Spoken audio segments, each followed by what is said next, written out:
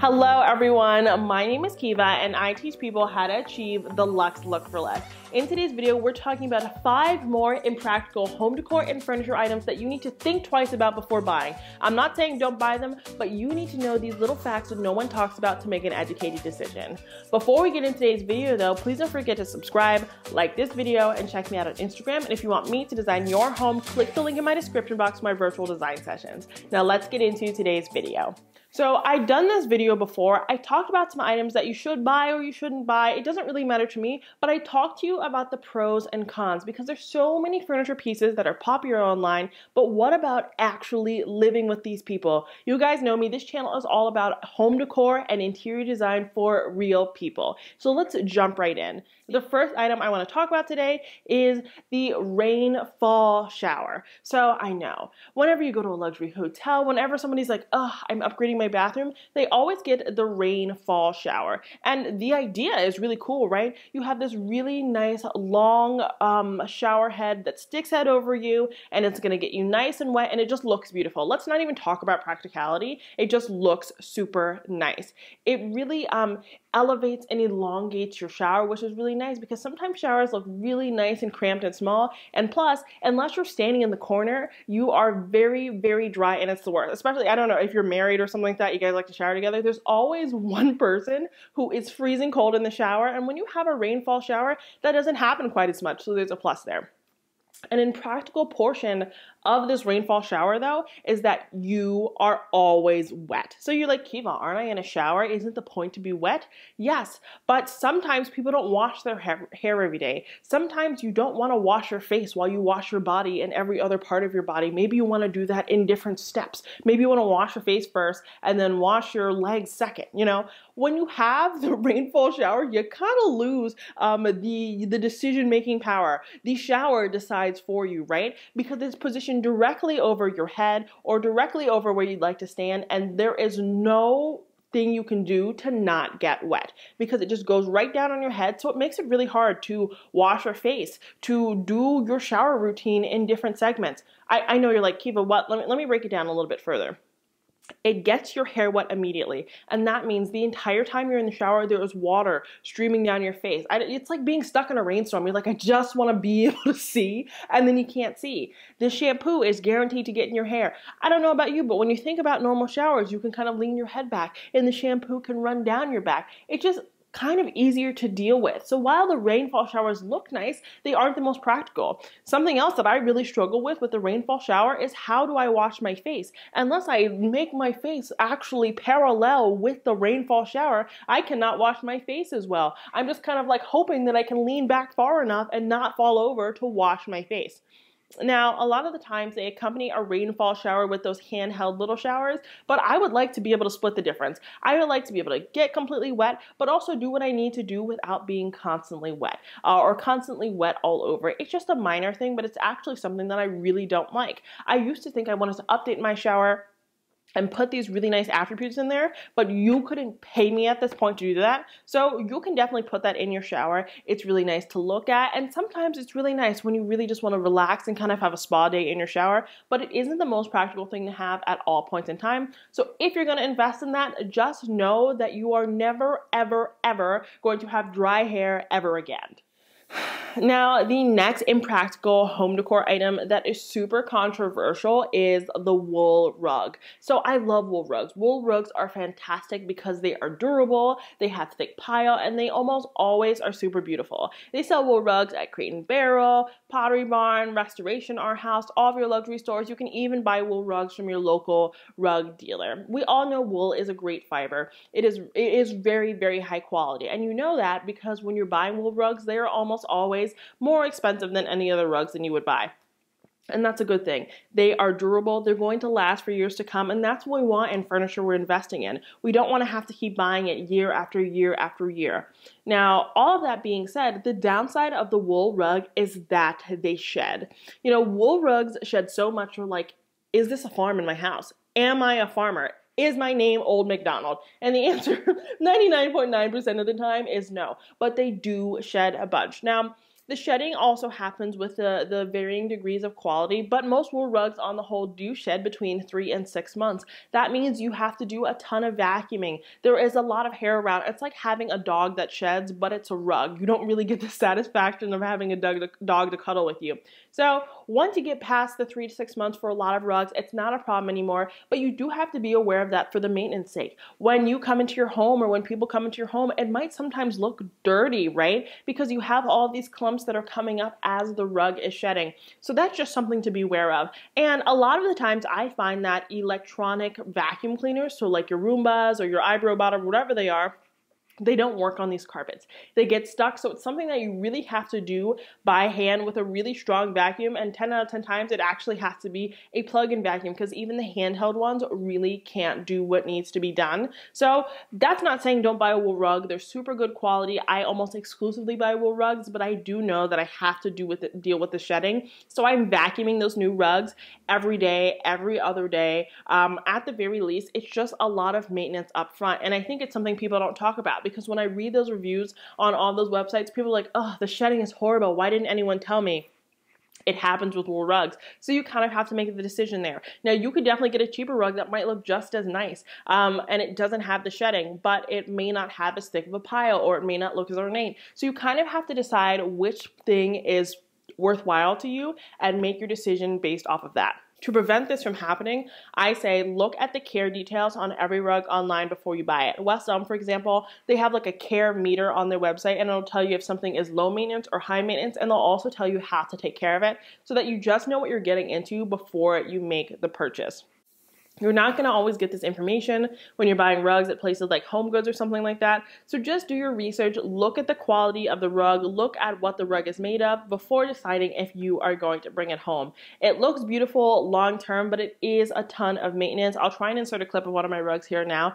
It's just shedding like crazy and it gets all over my dog and all over my clothes and I hate it, but I knew that going into it, so I just made a decision that I felt was educated. We all know that sconces are super, super popular popular right now. Sconces are fantastic. They add decor to your walls, they add lighting, they are they're very sculptural, right? The sconces now they have such interesting shapes, interesting lights that they give out. Sconces are the best. They add so much detail, especially if you're a minimalist or there isn't like art that you really love and you want to add some flair. Because again, we always want to carry our design upwards and lighting is one of the best ways to do that. And a lot of people now are using sconce above their nightstands, above their beds, um, above their sofas. There, there, are a variety of uses for sconces, but something that people don't always consider when it comes to the sconce is depth. So the sconce, the light has to go somewhere, right? It doesn't just stick on the wall and then just disappear, right? it doesn't go into a black hole. It has to exist in your space. So something you need to think about is the depth of that light.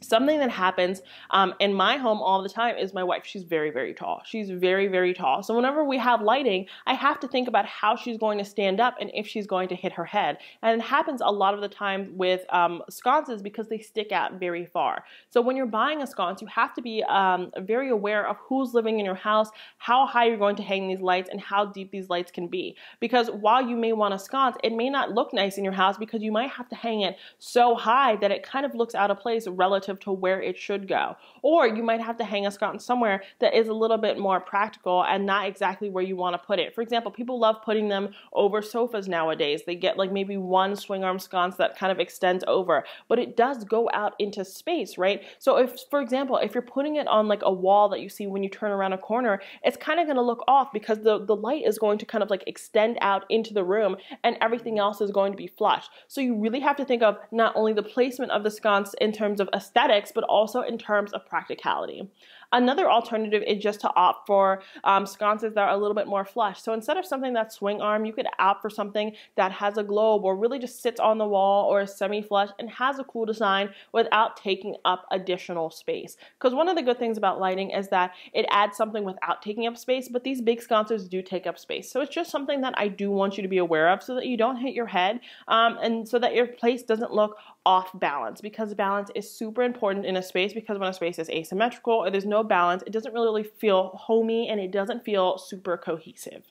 Something else I always see online is like West Elm or Amazon. They'll have these sconces over your nightstand and they look really nice, but they're showing it from, from a specific angle. But when you're looking at the side angle, you don't want your sconce to extend further past your nightstand because you're like, what is it illuminating? It's illuminating the floor at that point. Put a light on the floor. It's not actually illuminating anything that would be helpful to you.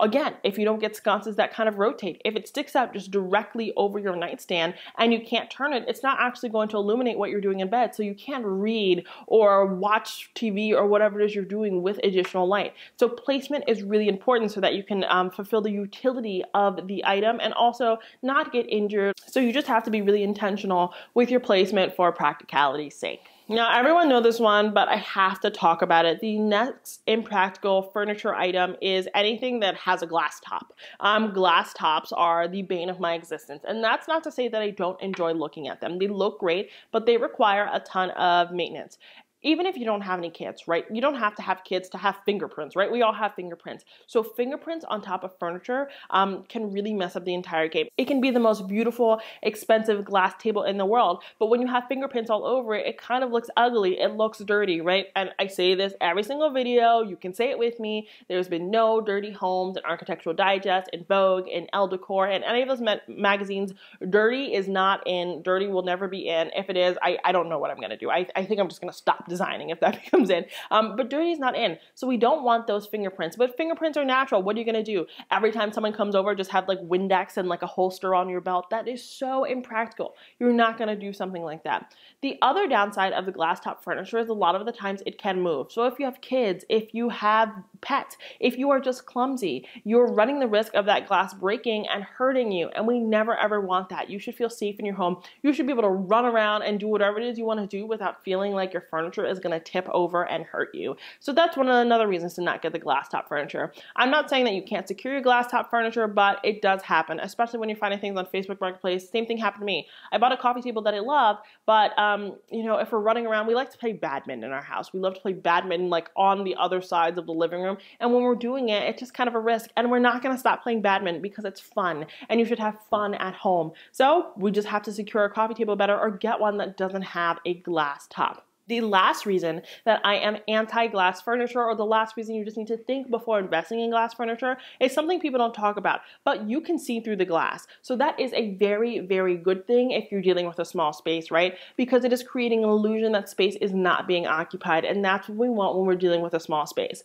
But something else you need to consider is whatever you have underneath that coffee table is what you're going to see through the coffee table. So you have to make sure that the legs are really pretty, or that the rug that you have is really robust and is going to add some really strong element of decor. And you have to make sure that whatever you have on your rug and whatever is being shown underneath the bottom of that coffee table complements whatever you're putting on top of that coffee table. You have to be a little bit more intentional with matching your decor that you're going to put on your tabletops with what you have underneath the table or the legs of the table because they kind of meld right into one another. So I will actually say stylistically, it's a little bit more effort to kind of make a glass table will fit in. Now you can add trays or um, runners to kind of prevent this issue, but again, it just requires a little extra thought. So for those three reasons, I just say think a little bit more before you decide to buy a glass top anything. It's just like a lot of effort, but it might work for you, especially if you're in a small space. So just be sure to take care of it well, get that Windex on your belt, and also be sure to be really intentional with your styling and do it in a way that complements your rug, complements the table, and really continues your color scheme in a very cohesive way. The very last item that might be impractical is the rustic pot. So rustic pots are super in, right? Restoration Hardware made it popular, Studio McGee made it popular. We love these rustic vessels. They're oversized, they add character, they're kind of inspired by the vintage, and vintage is very, very in this year. There is nothing wrong with them. They are immaculate. You guys know me, I have an actual vessel problem. I collect vessels for sport that's what I do as a hobby. I love vessels. With that being said, age vessels, they come with a myriad of issues. One, they flake off a lot. When you have the nice true rustic vessels, the ones that have some age on them, they have a lot of portions that have um, texture and detail, all of that. Even the ones that you DIY with maybe the baking soda or with dirt, they flake off, which means you have to clean your surfaces. You have to make sure that when you're setting them on surfaces that you're not scooting them along because it might scrape what you have because they have an actual level of texture that hasn't been cured correctly or um, really sealed super well so that it doesn't damage what you're dealing with already. So that's just something to be attentive of. It also just requires a little bit extra cleaning because things do fall off. So you have to, when you're moving things around, if you're hitting, bumping up against something, you have to make sure you have a handheld vacuum or you have your microfiber towels around to keep it looking really nice and pristine.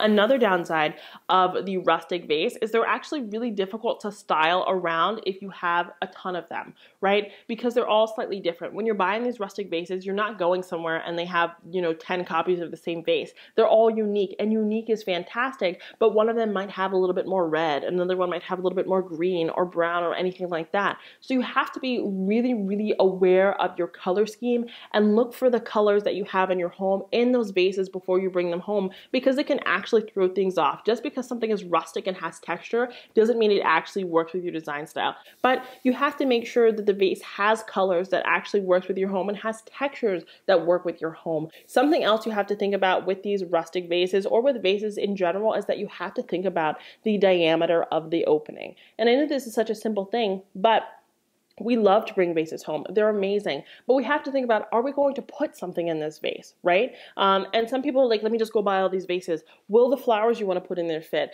Will the greenery actually fit? Is it scaled correctly to your home? What I would probably say, instead of actually buying true rustic vases, buy vases that look rustic but are new. For example, the uh, Joshua vase from Pottery Barn, that vase is my jammy jam. I talk about this vase all day long. I talk about this vase like it is a member of my family. I love this vase. Um, and what I love about this vase is that it adds a really interesting shape because it has some curvature to it. It has handles on it, so it looks a little bit more rustic and it actually has the ability to carry and travel very well.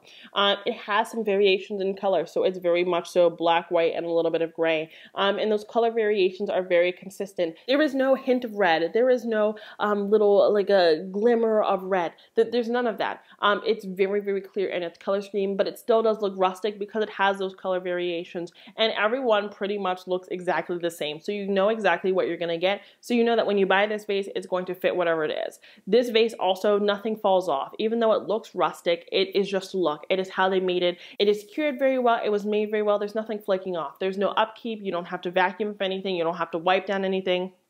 You don't have to worry about this vase scratching any of your surfaces. You are good to go when you have this vase. And last but not least, it has a huge opening. It has a very massive opening so you can put any type of branches or greenery that you want in there. And this is such a simple thing, but we want to make interior design easy. If you're not hiring a designer, you're not a designer, and that it's not something that you love doing, that's okay. That doesn't mean you don't deserve a beautiful home. You do, and so does everyone else in the world. So we want to make design easy. So instead of buying these rustic vases, these ones that have upkeep that you have to be really intentional about, just buy the ones that are made to look that way. It makes it easier. They're not going to scratch anything, and you will be good to go.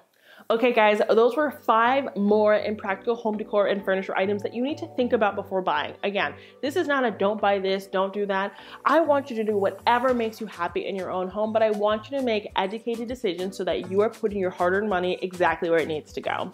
If you like today's video, please don't forget to subscribe, like this video, and check me out at Instagram. And if you want me to design your home, click the link in my description box for my virtual design sessions. Until next time, have a beautiful day.